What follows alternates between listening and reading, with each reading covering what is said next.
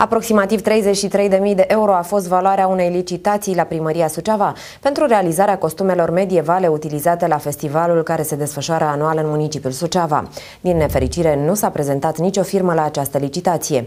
Care sunt cerințele aflăm de la șeful administrației publice locale.